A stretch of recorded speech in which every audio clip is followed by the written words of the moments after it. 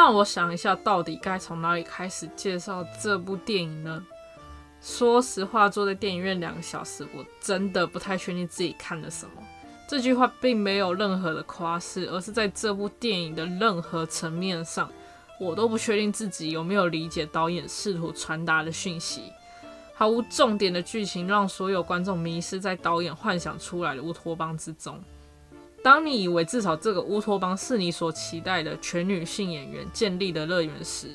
导演又在尾声中派出三名生理男性演员来嘲弄你那渺小的喜悦，皆大欢喜这四个字非常讽刺的对比我看完电影的感受。Hello，大家好，我是美美，一位百合重度成瘾患者，也是一位女性主义者。如果你是第一次发现我的频道，别忘了订阅、开启小铃铛，就能持续看到更多关于女性或女同志的电影影评。三月应该是一个女力爆发的月份，前有诈欺女王，后有皆大欢喜，两部题材新颖、不落俗套的女性主义电影，本来应该能为女性主义的题材开创新的高度，却双双沦落自性别刻板印象的沙文主义电影。不但没能为女性电影建立起典范，而且在观影过程中，我一直感受到藏匿在细节的直男癌，不舒服的感觉，直到走出电影院都让人头皮发麻。毕竟有意识的去拍女性主义电影，却无意识的展现男性印象，比那些毫不掩饰的恶意更让人猝不及防。皆大欢喜是由陈鸿英、魏英娟执导的恋爱喜剧，剧本改编自莎士比亚四大喜剧之一的《皆大欢喜》。As you like it。唉，我想一下要怎么介绍这个剧情。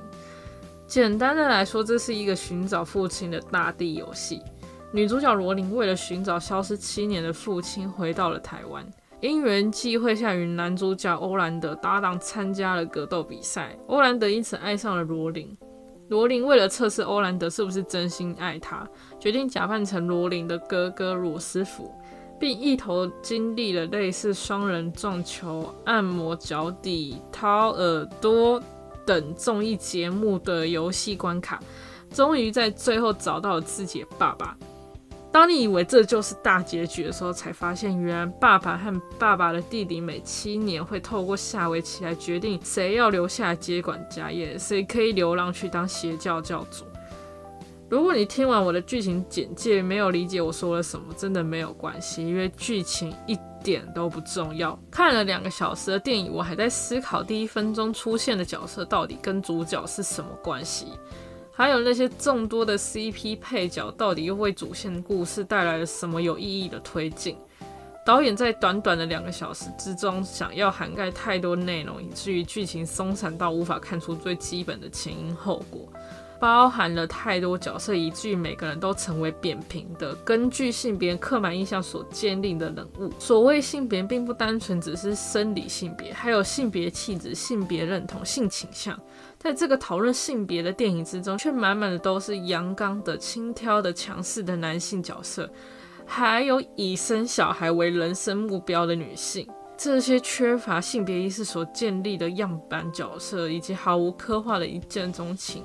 让整部电影空洞的像是所有性别偏见的集合体。当然，剧本或是角色刻画并不是整部电影之所以会让我如此失望的理由，而是这号称台湾首次全女性演出的恋爱喜剧，在我的想象之中，应该是剧中男性角色全部是由女性装扮演出。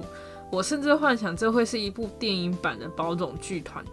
不过，就像我一开始提到的，如果你有跟我一样的期待的话，大概会在最后的最后大失所望。因为全剧中最具有权力的角色警察，竟然是由男性演出。除非导演跟我说这三位角色都是性别认同女性，不然我真的只感受到令人反感的男性威权。哦，等等，原来这两位导演确实是为了让观众感觉到反感而加入这些威权印象。皆大欢喜不只是背叛了我对于这部片唯一的期待，更让我匪夷所思的是台词。正因为是一部由女性装扮成男性的电影，正因为是一部瞄准女性观众市场的电影，那些像是性骚扰一般的台词，容易成为一种尖锐的讽刺，或是一种浮夸的娱乐。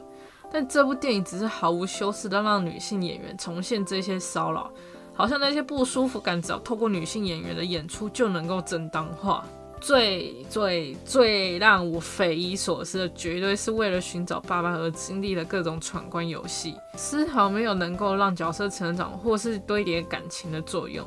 唯一起到的作用就是让观众集体尴尬症发作。其中一关掏耳朵，那个尴尬程度差点让我这个尴尬症患者在电影院里面哭出来。请你闭上眼睛，想象一个复古的咖啡店，两个男性在吧台区互相推辞着，这是他们的第一次。然后其中一个人把一个长长的东西伸进另一个人的洞里，两个人发出了各种的呻吟声。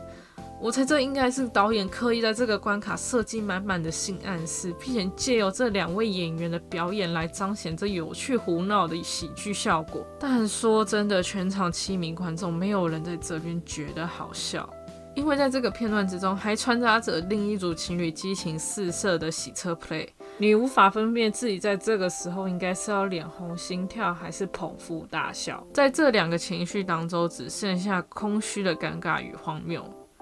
撇除皆大欢喜的剧本、台词、喜剧效果，这部剧仍然有值得一看的片段，那就是一开始，当导演展现一个乌托邦般的台北街景，你可以找到你熟悉的那些女同志网红，查理、兔女郎、Arrow。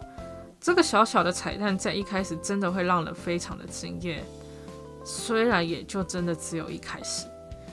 这期的影评就到这边。如果你不小心也去看了《皆大欢喜》，欢迎和我一起吐槽，或是跟我分享一下其他好看的反串电影。如果你想看点其他好看的电影影评，欢迎点击画面上的影片。我是美美，我们下期再见。